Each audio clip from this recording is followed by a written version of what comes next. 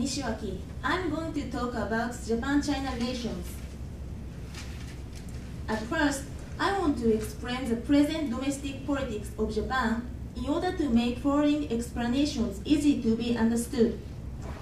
In 2009, the Democratic Party of Japan defeated Liberal Democratic Party that had been governed Japan for more than 15 years.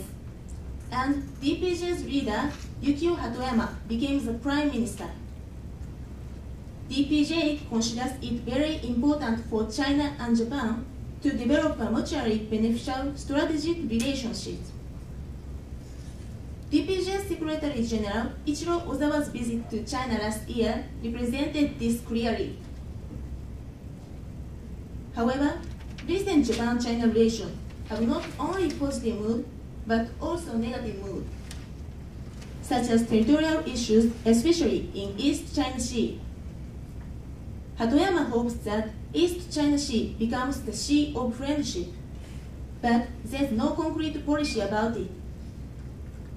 Moreover, there is long-standing civil distrust over many issues between Japanese and Chinese, which may impede civilian friendship.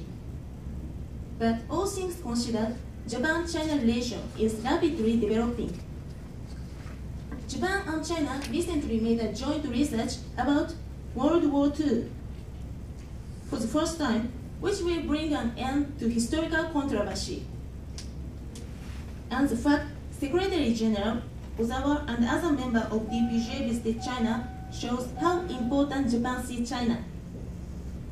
Moreover, Hatoyama put forward the notion of the East Asian community last year, which may mean Japan will put more emphasis on its relations with China than with the US. Next, I want to talk about what kind of threats Japan-China relations can have in the future. It is still not clear which country will take the leadership in shaping East Asian region in the next decade. If Japan does, the Western rules of the modern world, like WTO or UN Charter, will be prevalent in this region. But if China does, its new rule can be spread all over Asian states. Deep down, this issue of Asian leadership provides good opportunity to Japan and China to cooperate with each other to make tomorrow's Asia. But at the same time, a um seed of conflict can be seen anywhere. The very existence of US-Japan relation can also be problematic.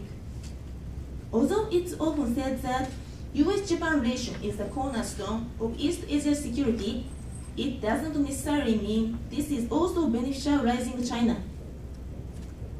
If China regards this alliance an obstacle to its power projection, Japan-China relation will face serious difficulty. Finally, I'd like to recap the main points of Japan-China relations. There are positive and negative aspects in these bilateral relations. The political and civil interactions are really good signs, but territorial disputes and historical and cultural frictions can hinder better relations.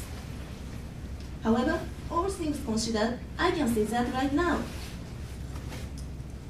Japan-China relation is rapidly developing, but perhaps this is not so substantial because I can't see any concrete achievement, at least so far.